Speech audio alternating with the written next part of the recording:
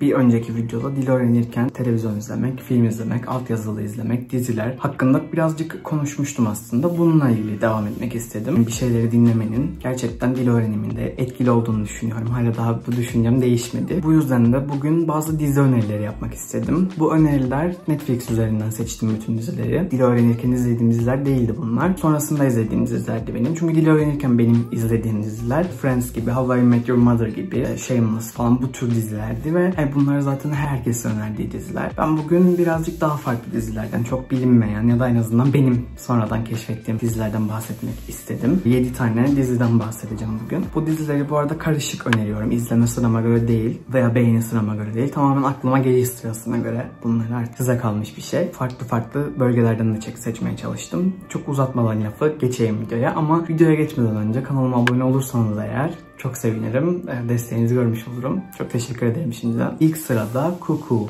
isimli dizimiz var. Cuckoo İngiltere yapımı bir dizi. Sitcom durum komedisi de diyebiliriz aslında. Şimdi bir ailemiz var bizim. Geleneksel İngiliz ailesi ve aşağı yukarı diğer dizilerde de olan geleneksel İngiliz aile standartlarında rahatlıkları, işte memur gibi yaşamaları falan böyle bir aile yapısını görüyoruz. Bir de bu ailemizin bir kızı var. Kızımız liseyi bitirdikten sonra Avrupalıların çok fazla yaptığı gap year alıyor. Gap year nedir? Gap year liseyi bitirdikten sonra bir yıl boşlukta kalmak. Bunu stajla değerlendirirler. Seyahat ederler ya da bir yerde çalışırlar falan filan ki ne istediklerine, ne yapmak istediklerine hayatta karar verme yılı aslında bu. Çok bu yılı yapmaya karar veriyor Gap Year diye ve Tayland'a gidiyor. Orada başlıyor zaten dizi. Tayland'da da Cuckoo isimli bir Amerikalı e, adamla tanışıyor. Orada bir aşk falan filan ve evleniyorlar. Rachel isimli karakter Cuckoo'yla evlenip İngiltere'ye geri dönüyor ve ailesine sürpriz.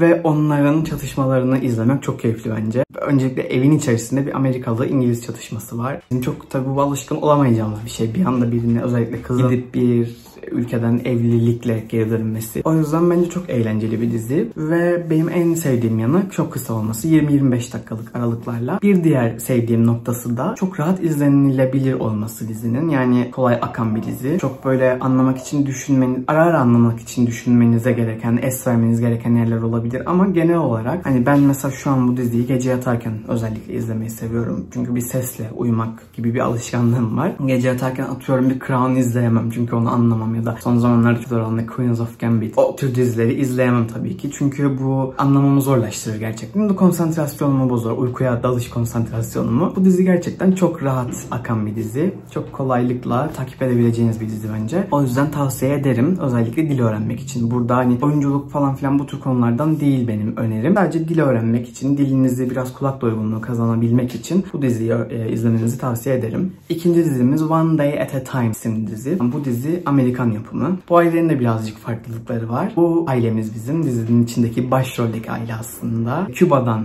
göç etmişler Amerika'ya. Küba'dan işte Amerika Birleşik Devletleri'nde yaşamaya başlayan bir aile. Bu diziyi sevmemde ve önermemdeki bir diğer amaç aslında dizinin içerisinde çok fazla İngilizce şekillerini duyabilme şansımız. Çünkü Kübalı bir aile var. İşte Kübalı ailenin içerisinde de İngilizceler farklı. Evin büyük annesi Latin Amerika aksanıyla konuşuyor İngilizceyi. Büyük annenin kızının birazcık daha soft İngilizcesi. Sonra evin çocukları çocuklarının daha native dediğimiz seviyede falan. Yan komşuları var. Kanadalı. Onun daha farklı bir İngilizcesi var. Amerikalı insanların, uzun süredir Amerika'da yaşayan insanların İngilizceleri var. Böyle İngilizce anlamında çok karışık bir dizi. Benim böyle bir şey tavsiye etmemdeki amaç kafa karıştırmak gibi olmasın. Çünkü farklı farklı İngilizceleri duyup aradaki farkları yakalamak bence çok önemli. Bence çok faydalı olur bir dil öğrenirken. Çünkü biraz oradan, biraz buradan, biraz farklı aksanları duyarak işte belki en kötü İngilizceyi konuşan tırnak içinde dizi içerisindeki karakterin İngilizcesinden bir hatayı düzelterek farklı bir şey öğrenebilirsiniz. Ve çok iyi konuşan, yine tırnak içinde Kanadalı karakterden atıp bir telaffuz şekli öğrenebilirsiniz belki. Kulak doygunluğunuzu arttırmaya yönelik bir dizi olabilir bence bu. Bu yüzden buna da şans verin. Sitcom izlemeyi sevenler için özellikle komedi izlemeyi sevenler için güzel bir dizi bence bu da. Yemek yerken, sabah hazırlanırken falan izleyip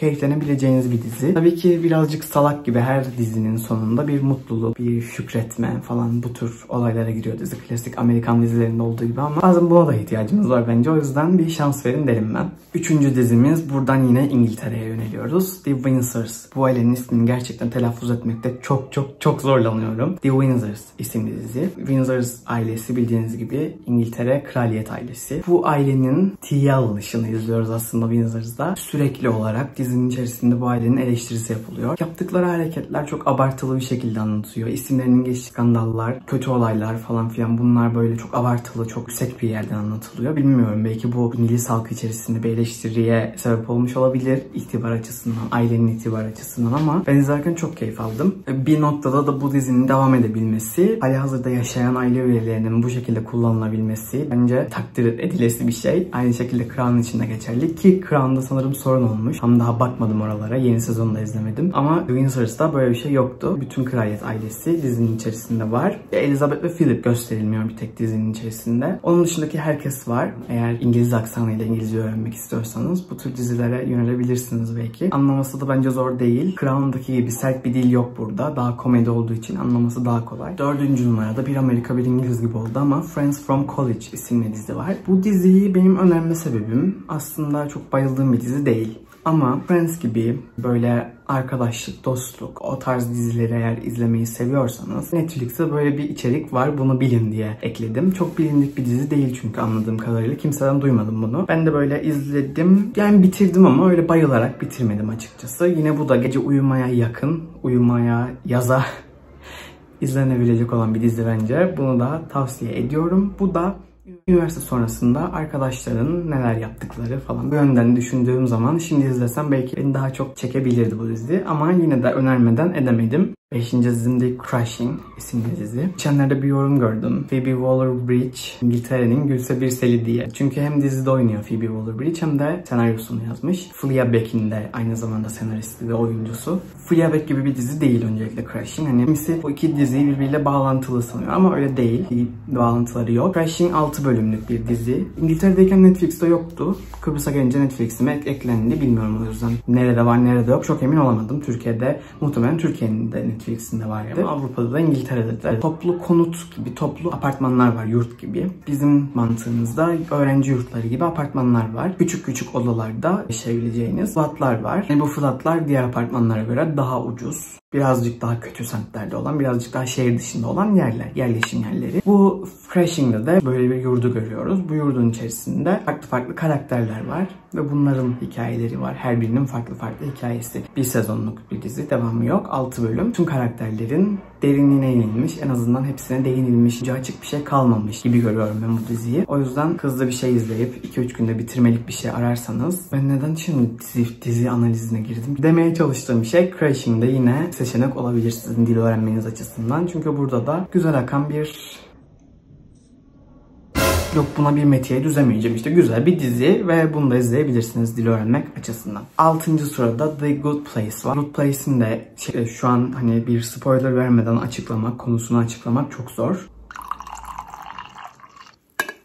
Üçüncü kez çekmeye çalışıyorum bu videoyu çünkü çok az yerim kaldı. Sürekli uyarı verip kapanıyor. Bahsedeceğim son diziyi de söyleyip gidiyorum. Yedinci dizimiz Fuller House. Fuller House bir Amerikan dizisi. Amerikan sitcomu. İki versiyonu var. Bir 80'li yıllarda 87'den 90'lara kadar yapılan bir versiyonu var sanırım. Bir de yakın zamanlarda 3-4 sene öncesinde başlayan bir versiyonu var. Ben son versiyonunu izledim bu dizinin. 4 sezon. Netflix'te var bu da. Bu da bir aile komedisi. Amerika'daki mutlu, mesut yaşayan bir ailemizin hayatını anlatıyor. Maceralarını anlatıyor bu dizide. Çok aslında üzerine söylenebilecek bir şey yok. Çok böyle efsaneleşen bir dizi. İlk versiyonu öyleydi ama ikinci versiyonundan öyle bir şey de olmadı. Ama izlerken sıkılmadığım, kolaylıkla da takip edebildiğim bir dizi oldu bu. O yüzden bunu da listeye eklemek istedim. Umarım bu öneriler işinize yaramıştır. Umarım bir nebze de olsa katkı sağlamıştır. Bu arada geçen videomu bir yorum gelmişti. Onun üzerinden söyleyeyim. Dizi izlerken e, altyazılarından takip ettiğiniz, öğrendiğiniz kelimeleri deftere yazarak daha çok kelime hazinenizi geliştirebilirsiniz diziler yardımıyla. Ve aynı zamanda bunun hem ezberlememiş olup dizide geçen şeyin görselliğiyle öğrendiğiniz zaman daha da akılda kalacağından eminim. Benim yabancı dilinizi geliştirmeye yönelik dizi önerilerim bunlardı. Umarım bir faydası dokunmuştur. Umarım bir tane de olsa içerisinden yeni bir dizi keşfetmişsinizdir bu video sayesinde. Ve son olarak da bu videoyu beğendiyseniz eğer beğene ve kanalıma hala abone değilseniz abone olmayı unutmayın lütfen. İzlediğiniz için teşekkürler tekrardan. Bir sonraki videoda görüşmek üzere. Bye.